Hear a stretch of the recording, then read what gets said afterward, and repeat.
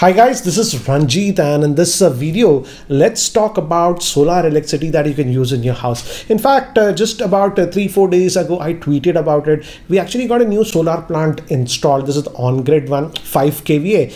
And I saw that that tweet got over 2,50,000 views on Twitter. Uh, and many of you are actually interested in knowing details about uh, this one.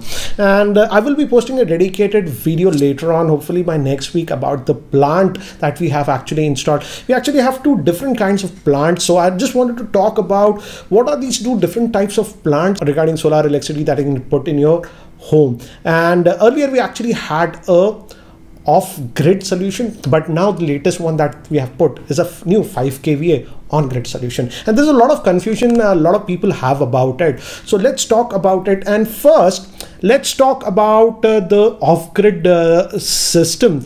And uh, to make it very easy for you to understand think of it as a existing inverter system that you have okay you have batteries also. And it is being actually powered by the, your electricity board. In a solar system uh, it is indirectly powered by uh, the solar panels. So let me actually show you for example uh, this is that off-grid system. And as you can see this is the grid that is means electricity board. And you have your inverter over here. And you have a bunch of batteries maybe two three whatever depending upon your capacity of your system. We actually had a 2 kVA one. And again uh, so whenever like electricity goes off from here your inverter actually comes and it powers your home. And it works very well uh, like this. So Instead of this one in a what do you say off grid system, your solar panels will come over here in this area and they will power the inverter. So indirectly we are replacing the grid that is charging your batteries with that. And it's a hybrid system. Your existing electricity board will also be connected. Let's say there is no solar electricity generation uh, because it's too cloudy or it's raining continuously uh, then uh, uh this will actually pull in electricity from your grid so uh, your solar panels will be powering it and it is also connected to your grid. So it's a special type of inverter you uh, think. For example, let's say you're on uh, a regular inverter, what you have, we, this is a special solar inverter, even it can connect to the solar panel. So that is actually off-grid system. And the advantage of this off-grid system is that you don't have to take any permission from the government or any approvals or anything you can put. Uh, but again, it's like a typical inverter system. You can't run your entire house on it. Technically you can, but it can get very, very expensive. You know, you have to clear clearly plan out just like the inverter. Uh, so we actually had this uh, sort of a system. It was a 2 kVA system. Now it's almost five years old and we wanted to expand and we actually expanded now uh, what do you call with a new uh, on-grid system. What uh, this on-grid system is that uh, here your solar plant is indirectly connected to the electricity grid. And if you notice a electricity grid uh, you always pull electricity from them. That's how we consume. But uh, with this on grid system uh, the solar electricity that uh, is being generated by a solar panels and when you're not using it it actually goes back to the electricity board. So it's a two-way communication we have uh, so this is slightly different. And in the system we simply do not have any batteries. So uh, the advantage is that uh, you can run your entire house over it because uh, let's say you require uh, currently let's say 3000 watts of electricity and your solar panel is generating let's say just about 1500 watts. It will use that 1500 watts but the rest of the power that is required that 1500 extra is pulled from the electricity grid. So again you don't uh, have to worry about the capacity. You can run your entire house. For example uh, we have we have installed the new one 5 kva and we still get electricity bill uh, because yeah that 5 kva is not enough for an entire house when everything is running. But we don't have to worry because the extra electricity what we need need is being pulled from the electricity board. And uh, let me actually uh, unlock my computer. I made some notes guys. Let me just get out of this. So guys now let's look at the on-grid uh, system here we have. As I've uh, told you we have a your electricity connection over here. And as I've told you we have two-way uh, movement because here is your solar panels that we have. And uh, solar panels actually generate electricity in DC but we require AC hence again we have this inverter. And uh, here again let's say you're consuming electricity directly give uh, the preference to the solar and it goes directly to your home.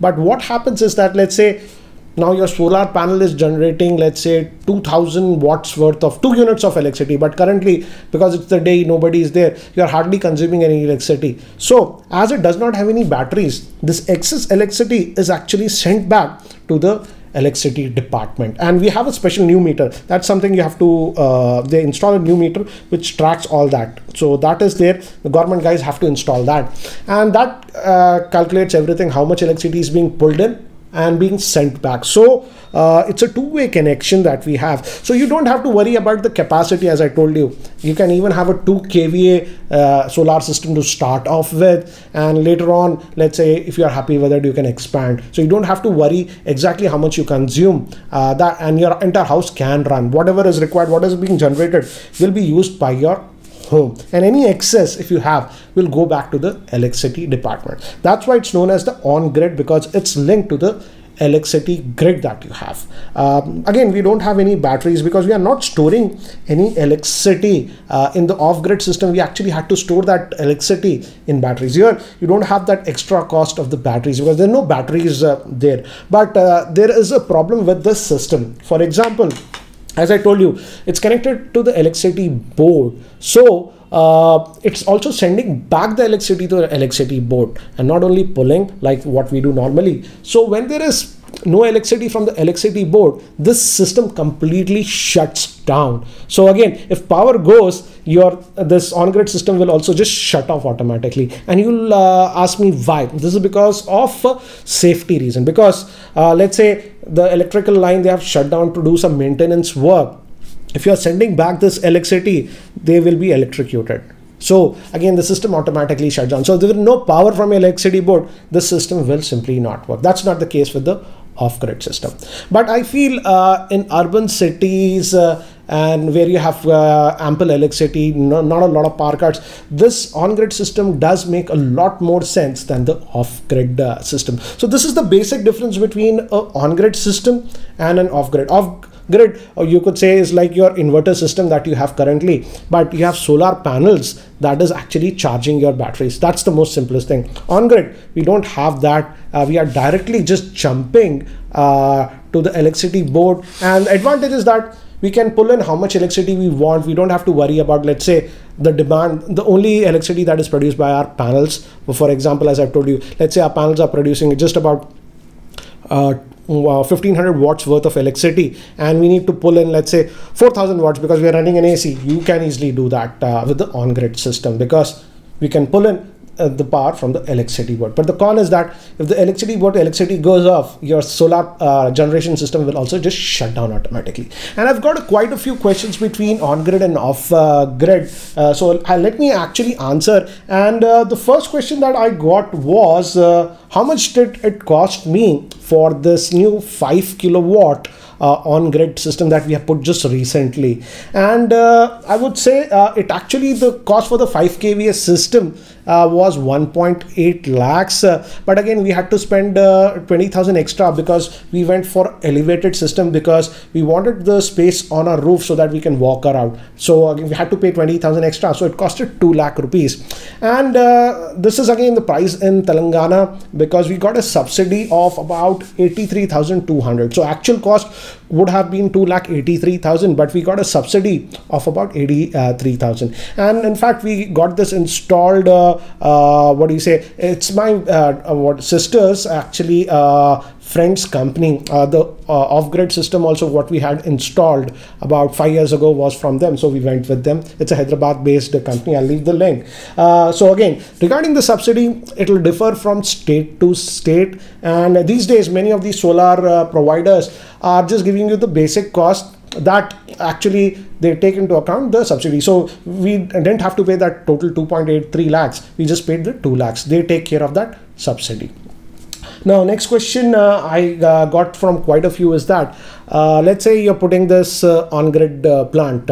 Can we expand the capacity? Maybe you're not comfortable right now. You're just putting a 3 kVA plant. Can we expand it later on? Let's say after two years to add two more to total up for 5 kVA definitely you can do that. Uh, most of these plants are modular in nature so you can expand the capacity if you have uh, roof space. Uh, again check with your installer uh, the capacity of the inverter also. That also has to support because again the capacity of the inverter is limited you might have to change the PVA inverter also. And uh, uh, another question that I got from you guys is what other costs that you have to uh, pay apart from the initial cost for the on-grid system?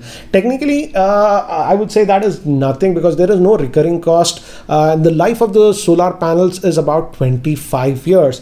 But uh, generally the warranty what uh, we get on the inverter and all those things uh, is about five years. You can take ad additional in what do you say what you call that extended warranty also with these companies for seven or ten years for the inverter and other parts. But uh, yeah there is no recurring cost i would say for the on grid for the off grid where we have that batteries there is certainly a recurring cost. Uh, these batteries actually last typically uh, for about uh, you could say five years and after that you might have to replace. So that's a big recurring cost and now we have to actually replace our batteries. It's been slightly over five years. So again that can be a huge cost depending upon your capacity. So on grid generally we don't have any recurring cost but with off grid because your batteries after about five years will go bad uh, it will actually uh, you'll have to uh, replace those batteries. So that's a recurring cost in that one. Uh, regarding subsidy, again, I want to make this very clear. The subsidy as of now in India is only for residential. If you are opting for business uh, or what a commercial, I don't think so you'll get subsidies, at least uh, in our state. Uh, now let me move to the next uh, question that you have. and this is the question I got the answer from the CEO of this company and asked them, how much electricity generation can a user expect with a solar plant. And she told me uh, you can expect about 4 unit of electricity generation per kVA. For example for our plant it is about uh, it's a 5 kVA. So we should expect about 20 but we are getting about 22 uh, units per day. Again it will vary obviously in winters when the sun is not out that much you don't have that sunny uh, so it will go down. But she told the average a person should look at is about 4 units per kVA and uh, what uh, and uh, you might ask uh, how much time does it take to recoup your investment? Because indirectly you are saving on your electricity bill. That's how you save money uh, with this. For example you might be getting 6000 7000 bill but after putting this uh, plant maybe you might be getting a bill of about just 1500 rupees or something. So uh, as of now, considering the current cost of the uh, water plant, it has come down drastically. It will take you anywhere around 3 to about 3.5 years. And this is after the subsidy.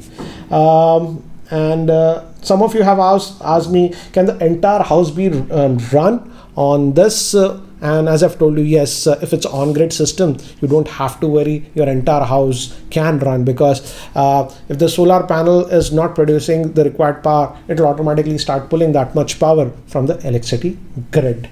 And um, inverter batteries as i've told you if you are uh, going with that uh, off-grid system where you have batteries typically five years. But uh, they told that uh, now we are also seeing lithium ion batteries. They are very expensive as of now. It's not used in re residential areas but they can go up to 10 to 12 years. But again nobody uses in residential because it's very very expensive.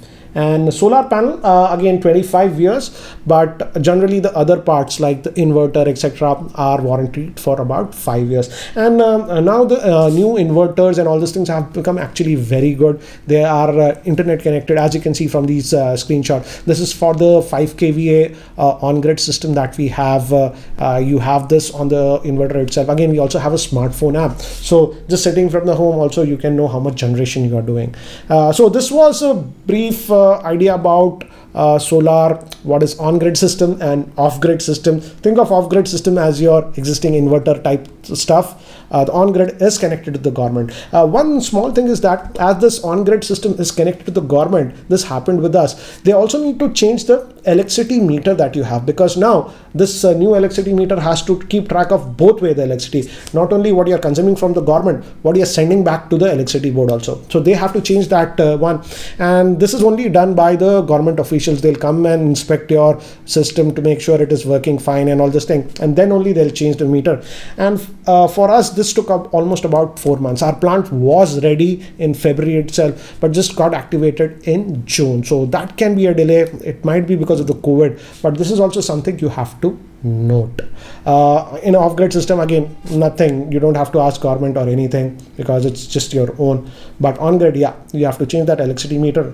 And so again uh, because of the government delays uh, the installation can get uh, delayed so I hope uh, this gives you a lot more information. Uh, I'll uh, leave the link of the firm from which we had uh, installed this one. Again, next week, I'll try to actually post a full dedicated video about our existing system and also show you our old, uh, what do you say, off-grid system. So again, stay tuned to the channel. And if you have uh, any specific questions about solar power generation for your home, etc., do leave those questions in the description. I'll try to include those points in the uh, video that I'm planning to post next week. And guys, if you're still not subscribed to the channel, hit that subscribe button. This is Ranjit and I hope to see you in my next video. Take care guys.